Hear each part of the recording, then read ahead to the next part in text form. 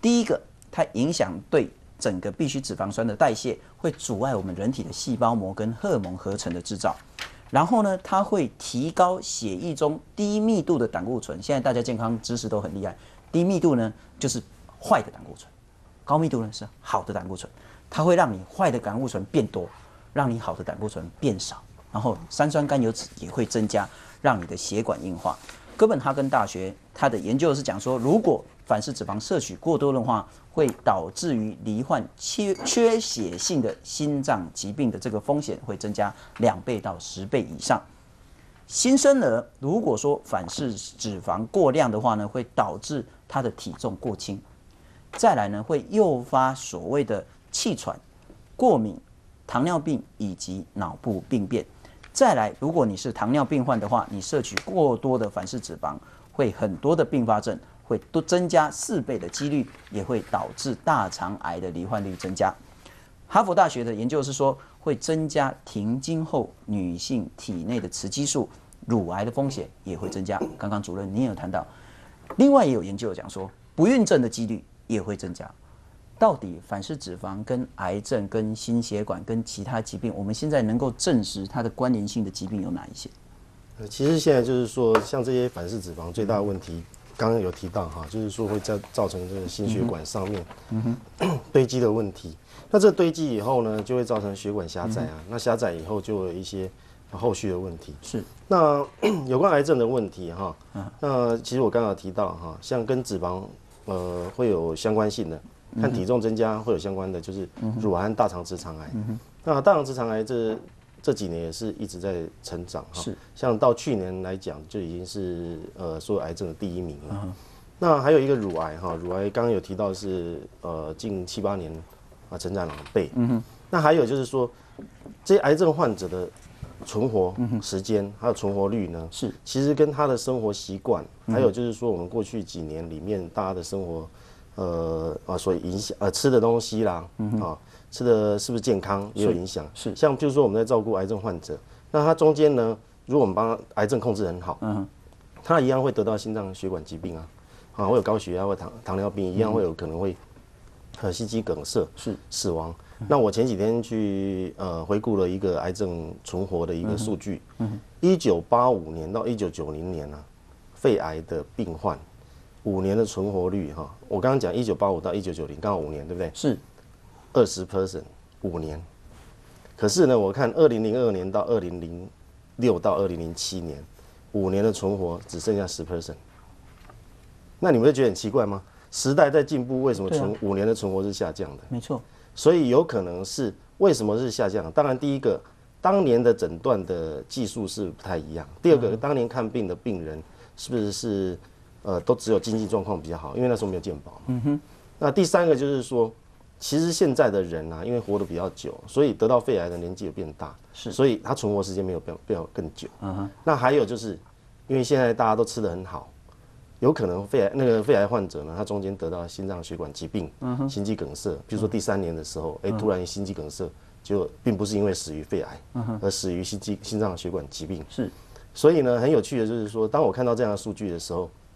为什么这二十年来，反而肺癌患者的存活五年存活是下降，而且还下降一半？是是。那我想最大的一个影响，除了这个医疗医疗进步，应该是让存活率上升的，而不是下降。嗯所以最大的问题应该是大家生活习惯还有大家饮食。是是，我们休息一下，等一下再来好好谈一下反式脂肪、饱和脂肪跟我们整个身体健康之间的关联性。休息一下。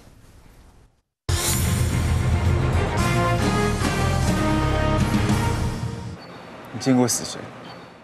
其实我看过死神少女，穿着一身黑，头发很长，每次出现的时候总是只有半张脸。你看得到我？其实是有人跟自己过不去，他才会把它变成石头。你不觉得这里充满死亡的气息吗？是要把他带走吗？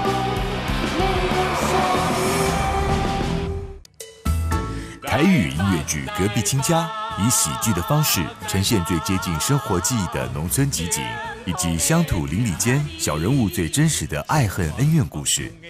即日起捐款一千元起，加入公示之友，即可获赠由音乐时代文化事业有限公司赞助提供的《隔壁亲家》音乐剧原声 CD 一套。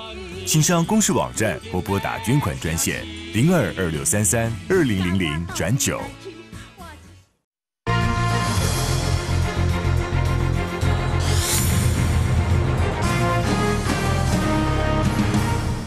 欢迎回到有话好说。今天谈的是反式脂肪，然后当然最近大家在讨论这个题目，可是，在几年前大家听都没听过什么叫做反式脂肪。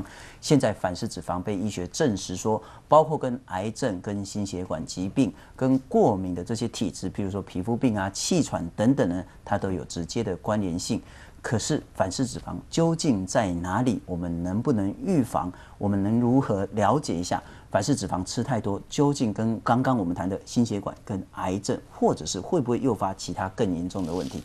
林医师，你怎么看反式脂肪？我想两呃两年前有一个很大的一个研究，将将近两万个，就是说啊停还没有停经，就是还可以生产的这些妇女是，然后去做一个前瞻性的一个研究。嗯如果他们每一个人呃这些人每天都吃呃吃所谓的反式脂肪酸超过两 percent，是这样一个情况下来做一个统计。它会增加这个这个，我当初看到这个统计，我觉得哦，怎么这么这么差这么多？它增加七十 percent 的所谓不孕症的机会，甚至中间有人增加到一百多 percent。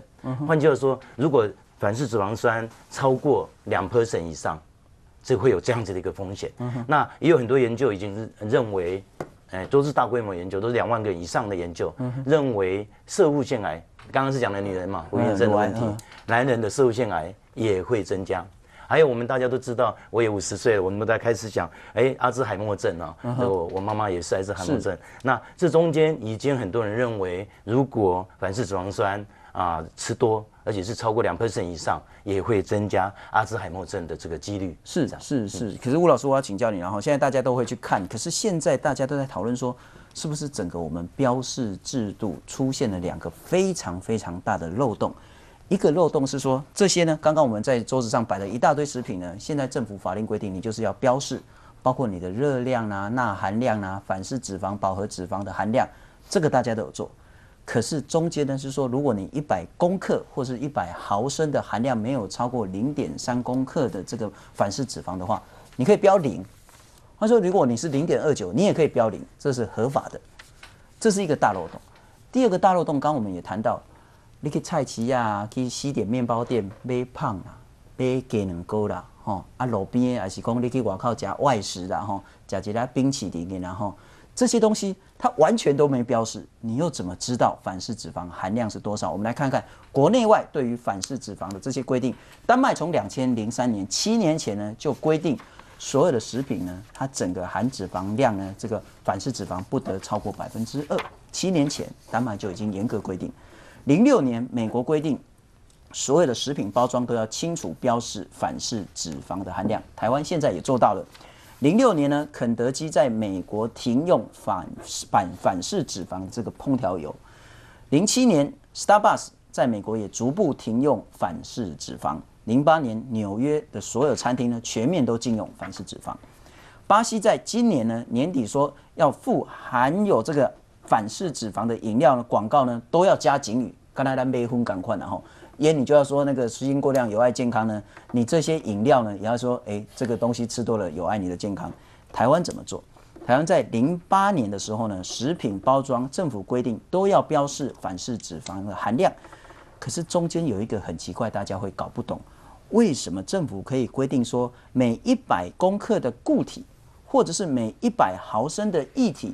如果你的反式脂肪含量没有超过零点三公克的话，那么你可以标零。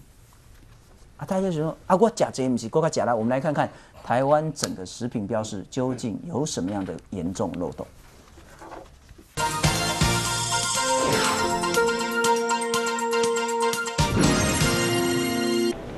在卖场里挑东西，仔细看看包装上的成分标示，想知道这些产品究竟有些什么内容。而看到这些油炸过的饼干、泡面以及奶油球，包装上的营养标示凡是脂肪都为零，吃下去应该可以安心吧？但大家以为安心的食物，现在却传出不少业者标示不实，消费者根本就被骗了。反式脂肪它主要就是对胆固醇的一个影响，在一些研究上面有发现到，反式脂肪吃得多的时候，血胆固醇是会上升的。反式脂肪吃多了对身体不好，营养师就提醒，如果食物中含有氢化植物油、酥油、奶油或是人造奶油，通常这些反式脂肪含量会特别高。而根据美国研究的建议量，如果以成年人一天摄取两千大卡的热量来计算，反式脂肪的容许量大约占百分之一，也就是两公克。若超出这个范围，引发心血管疾病的风险就会增加两成到两成五。目前美国营养标示的制度里面呢，是每一百。每一百克的产品只要低于零点五都可以标示零哦，那我们是零点三。卫生署表示，依照规定，每一百公克食品反式脂肪含量在零点三公克以下可以标示为零。但现在外界有疑虑，会函请各地卫生局加强稽查，若违反规定，将依法处业者三到十五万元罚款，并限期改善。如果一年内再犯，最重会被废止营业或工厂登记执照。吴老师，我准备签稿里，然后基本上进户员工所有的食品，你只要有外包装的，你就要是讲说你的反式脂肪含量多少。可是他又讲说，只要每一百公克的固体或是每一百毫升的液体，你的反式脂肪没有超过零点三公克的话，你就可以标示零。换句话说，这个东西我们刚讲，它反式脂肪是零。这个东西呢，它是玉米做的，然后又是高温油炸的，它反式脂肪也是零。这个东西呢是原味奶茶。他也说他是零，阿国不清稿，我们真的可以相信他是零吗？啊，如果不是的话，为什么政府要弄这么大的一个漏洞？其实这个漏洞主要是相信，就是说当初在想的原因也是说，很多天然的这个食品食材里面啊，会有所谓天然的反式脂肪。嗯哼，我刚刚一再提的，这个唯一可能产生的就是 vesnic acid，vesnic acid。那这样的一个酸呢，这样的一个酸，它天然界会存在，哦，所以你因为有这样的存在，所以不能够判断说到底原来在食物的里面的东西是我们人为加进去的，还是天然食材里面有的。是，但是其实来讲，这不是很严谨的一个一个标示的做法。哦，你如果要标示，你要标示说它实际上有多少，那它这个加进去的反式脂肪是你后天人为所造成的呢，还是先天你本身的 vesnic acid？是，哦。那如果是你先天的，我可以接受，所以你变成要有一个检查的办法，你能够辨识说它是先天的这个反式脂肪，还是后天再加进去的，所以就变成你要能够对脂肪。做我们所谓在检验上面的做所谓的真正你要去做 speciation，你要能够把那脂肪酸的这个物种给确定出来。是哦，所以我刚刚一直强调说，政府需要有一个好的检查脂肪酸的这个方法。嗯哼。然后呢，你如果要容许天然的脂肪酸存在的时候，那你容许天然的这一个部分。是哦，因为大部分大部分我们的这个脂肪酸都是属于顺势的，我们叫 cis。嗯哼。唯一会产生 trans 比较担心的就是 vesnic acid。嗯哼。那 vesnic acid 这个方法检验的方法，你把它确认下来。我只要检查说你的反式脂肪是属于 vesnic acid，no problem，OK，哦，好你鬼不要紧，哦。所以这个是政府要要做的，是，要不然他可能讲说，哎，我这里面是天然的，我就不，我就是把你标成零了，因为天然不是我故意加进去，好，故意加进去要来害人家的，所以这个很重要，就是因为反式脂肪，我刚才一直强调嘛，你吃多了之后，身体会累积，累积了之后呢，很多毒性的物质也配合它累积进来了，因为它是一个储存库嘛，是。你身体就会产生各式各样的病，甚至产生 cancer 这样的这个物物物物物种出来嘛，对吧？那会让我们担心的这个这个情况嘛，哈。那虽然这样的检查的方法很困难，但是还是做得做得到的。嗯哼。美国呢，大概有三个人里面有一个是胖子嘛，哦。我们过去有很多生活的习惯是仿照美国的，包括我们的食品药物管理办法常常也仿照美国，但是呢，常常是落伍的。美国最近是因为那个鸡蛋里面含有这个所谓的沙门氏菌，开始全全面要。改造他们食品安全的这个相关的这个法规，那我们过去学它没有学成，反而有一点点没学成，又做的不太好的时候，我们应该想办法好好再做相关的检讨嘛。是。哦，但是呢，一个很重要的，我刚刚说脂肪这个东西，实际上是我们要我们需要的，真的有些好的脂肪哈，好的，特别是这个不好的不饱和的脂肪，是。或是多元或单元的都都没关系，我们还是需要那些东西啊。如果我们我们因为这样。而让大家不敢去吃很多有其他好的脂肪酸的东西的时候，这个就是罪过了。是罪过了，这个产生的病会更多，甚至会影响到你的免疫力、你的细胞的这个这个重新再生恢复的这个能力都会受影响。嗯哼，好，我刚刚讲了，那啊那 prostate gland 里面有八九种都是靠我们所说的这个所谓的这个不。多元不饱和脂肪酸去做后续的合成的，是。如果大家因为这样，哇，这敏感，我记得有些敏感，我记得有安打个动脉架，这个也是会影响大家。所以换句话说，你完全不认同政府现在这个规定，就是说每百公克的固体或是每百毫升的液体，只要不超过零点三，那就整个就可以标零。而应该是说，好，也许你天然的反式脂肪，OK，对，对人体伤害不大。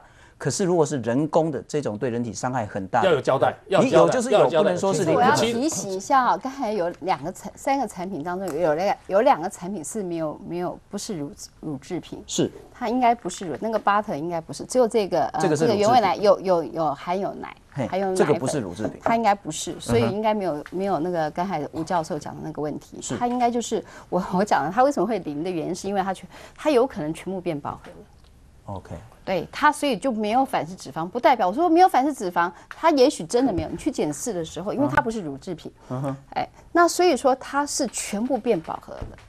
所以我们在重视反式脂肪的同时，我们一定要看重一样饱和脂肪，饱和脂肪跟反式脂肪一样不好。所以今天我们其实也要那个很诚恳的跟所有的观众朋友讲说，以后你去买东西哈，要看清楚整个营养标示，第一个热量要看清楚，不过很重要是单位了哈，它有的是每份。还有是每包装，还有的是每毫升，要看清楚。它不有的每份，它可能这个可能是十几份，所以这个都要看清楚。单位先看清楚，再来热量看清楚，再来呢饱和脂肪跟反式脂肪都要看清楚，钠也要看清楚。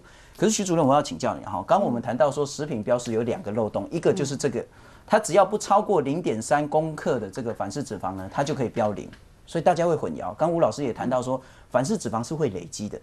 你今天过量，明天过量，后天过量，你身体就排不出去，就会导致很大的身体的疾病。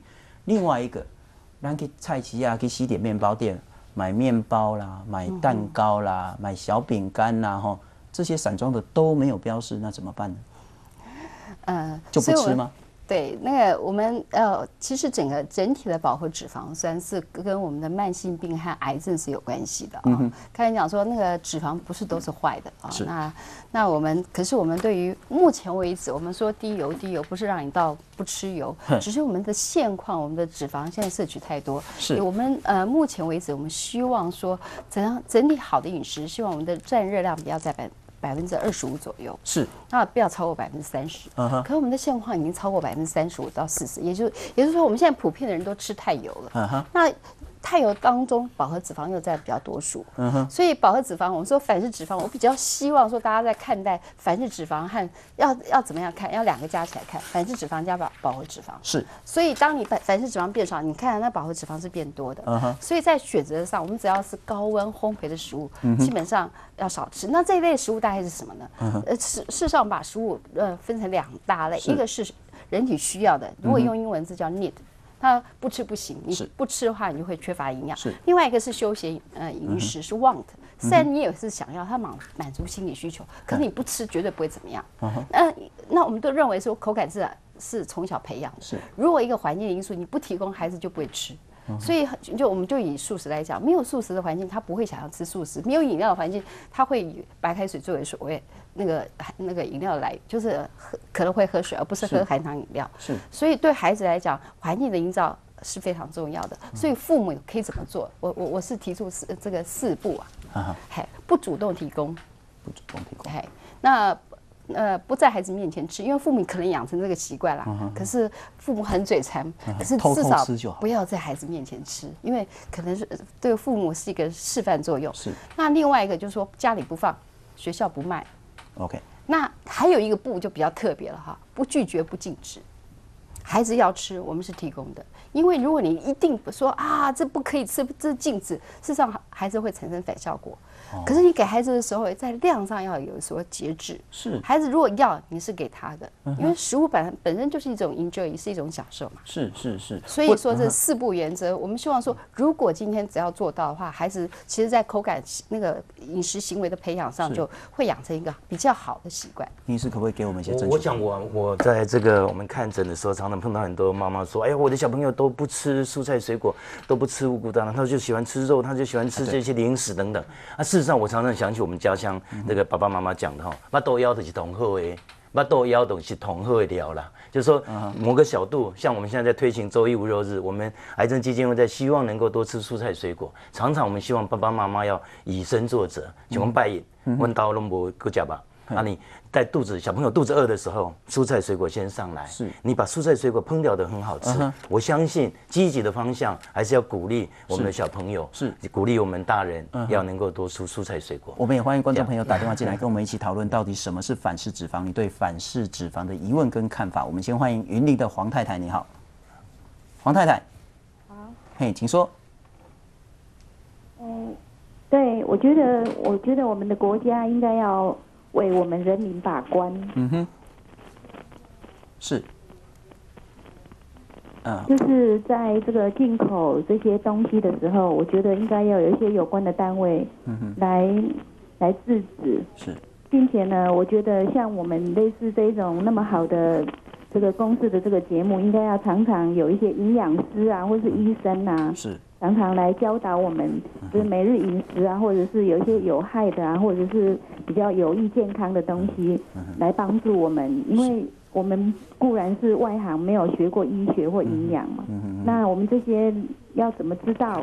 我觉得要这些专家来指导我们。我觉得我们是可以，可以有对我们有帮助。好，谢谢。然后每个礼拜三我们都会谈这个题目，也欢迎你准时收看。新竹的廖先生，你好。你好，请说。请呃，在座那个来宾，请教，请问一下，我我现在是有那心血管疾病的，那个心那心心脏心脏还有那个高血压这样子啊。啊，请请问一下，那。早晨如如果吃那个那个吐司跟吐司巧克力吐司这样，嗯哼，还有个还有那个燕那益力康加燕麦片这样，嗯有会不会对啊有有那个是是不是有有比较好一点？好好，谢谢谢谢廖先生。台北的刘小姐你好，刘小姐，呃，刘小姐。呃，喂，哎，请说。呃，我是看了节目之后，我觉得哈，现在我们的食品越来越就是素食化、西化，嗯哼，那也造成说我们的文明病的现象就是也年轻化，是浪费了国家很多医疗资源。那我觉得像这种呃有关于就是跟每个国民有关的知识，我建议说比较进入的呃教育的教材是就是教学现场地线，让孩子去知道说，哎，这些东西吃进去对我们自己身体的影响是哦，不是。而不是说我们大人说哦这个不好那个不好，因为这样很主观。没错。对，而且毕竟就是你真的有在更新吸收知识的家长，不是每一个家长都这样。很多家长晚上都在做生意或做什么。是。对，所以我觉得说，如果这些呃对每个国民有帮助的知识进入了教育教材，我相信会对国家的资源，呃或者是一些医疗的那个呃节约有很大的帮助。谢谢。没错没错，我们欢迎中立的李先生，李先。喂，嘿，请说。可以的，嘿，喂，嘿，请说。喂，你好，哎哎，我想请问，那个刚刚说反式脂肪它没有办法排排出去哈，嗯，那我们要怎么去去去降低这个部分？是是。好，就这个问题嘛哈，吴老师怎么降低？啊，我的价落去要变喏。这个要降低，要降也不是不是不是，要降低的话就有比较大的这个困难了哈，因为它会它会囤积嘛哈。嗯。那这个部分跟刚刚这个戴医师讲有关系，我们人的生活习惯很重要。嗯。你身体要代谢一些不好的东西的时候，其中有一个非常重要的因素就是生活习惯里，你有没有运动？在我们身体运动的时候，我们身体运动会产生一些很特殊的蛋白质，实际上就是这个类似我们的运输运输机、运输车，会把这些不好的东西呢运送到我们可以分解的这个呃器官。哦，包括细胞里面，然后应用我们自己本身的这个能力把它分解掉。但是举一个例子来讲，很很明显一个一个蛋白质叫做 carotene，嗯哼，这个东西就是负责运送这些有毒物质到我们身体进行分解的。是，但是你不运动，你身体就不会有那一种特殊的蛋白质产生来运送这些有毒的物质。嗯哼，好，但是这些你又要定期的运动，为什么呢？像 carotene 这种东西是你定期的时候运动它会产生。那过一阵子在你身体里面被代谢掉，它它它量就下降了。你必须要再持续在运动，它才会起来。所以生活习惯变得是一个很重要，并不是只有你饮食。是哦，比如说有很多生病人特别令人担心，就说哎，他已经生病，他已经卧床了，他运动的机会自然减少，这常常会加加剧他病情。是哦，所以大家注意一下，俺唔能跟他架呢，俺我爱叮当，爱瓦当，而且爱定期。去做运动，还再再再去办。啊，啉水不好，啉水都有好，有好。多多喝水。为什么呢？水本身是我们新陈代谢的原料，原料了。是。你无水，你就无法度去新陈代谢。一时暗时拢需要水。是。你唔通讲我困伫遐，我都无需要水哦。嗯你咧困的时要有新陈代谢，你咧困你唔是死去哦。哦。所以你还是需要水分。嘿。哦，所以这是很重要，生活习惯是很重要。所以三个方式啦，哈，就是如果你担心反式脂肪，第一个，你都唔看过加下这样。哦，你进来的量就要控制住。第二个，喝水。对。啊更重要是运动，对对，这个是最有方法。戴主任刚刚有谈到，其实我觉得那个廖先生真正想问的是说，心血管疾病的病患哈，饮食到底怎么办？他举了很清楚的例子的哈，一加吐司，各加巧克力酱，然后刚刚说益力康，我不太清楚那是什么。这样的饮食会不会增加他心血管疾病复发的风险？嗯，如果说去算它的呃总热量的话，光吃吐司面包，还有吃一些其他的东西。呃，总热量上不是太多的话，应该是不会加重他心血管的问题哈。是。不过最重要的啊，刚刚这个吴教授还有林医师哈，还有徐主任有讲到，就是其实我们接下来还是最重要是摄取的问题哈。第一个，呃，饱和脂肪酸是不是不要摄取太多？是。第二个，水当然要多喝。是。第三个，运动还是要做哈。如果说这方面都能够做好的话，其实我们身体就会比较好。是。那对于这个。已经有得到心血管疾病的病人呢，如果他能够遵照这几个方向，他可能血管会比较畅通畅通，是比较畅通。当然，这个心血管疾病在恶化的机会就会比较小。是是是，不过我绝对同意那个教育的部分了哈。可是徐主任，我要请教你，我们可不可以更具体的跟所有的民众讲清楚用油的正确观念，好不好？您刚刚一直谈到。反式脂肪酸跟饱和脂肪一定要放在一起看，这两个都是不好的。你不能只看说反式脂肪，如果那个变少了，结果它饱和脂肪变多了，对你的伤害一样很大。我们来介绍一下，饱和脂肪包括猪油、奶油、牛油、椰子油、棕榈油等等的这种东西呢，也可以凉拌，也可以闹耐高温。可是你如果吃太多，对你的心血管非常非常不好，真的不建议你长期单独使用。这个是一个。第二个呢，所谓的单元性不饱和脂肪酸，包括橄榄油、苦茶油、芝麻油，这个你可以拿来凉拌、拿来煎、炒、煮，但是就不能拿来油炸，因为它不稳定。还有一个呢，叫多元性的不饱和脂肪酸，像是玉米油、黄豆油、葵花油、葡萄籽油等等，你也可以拿来凉拌、煎、炒、煮，但是就是不能拿来油炸。到底一般家庭主妇在家里用油要怎么用？我觉得主持人已经讲得非常清楚了啊！我想，呃，我我自己在看事情的时候，我倒是要要看，因为我在呃，我们在说我们普遍的人都吃油脂太多了啊，普遍来讲，是。那所以我在分什么饱和不饱和，什么多元不？我只是我自己比较喜欢分看得见看不见，因为我们都不会吃那个看看得见的油。对不对？大家喝油很恶心吧？那当然。对，那所以没有人在喝油。可是我们会吃很多看不见的油，尤其像 whole grain。刚才提的，其实我们吃多吃蔬果之外，我们要多吃全谷。这这一块是啊，全谷。刚刚刚刚有位呃心血管疾病的，其实他呃这个是。十点全记录。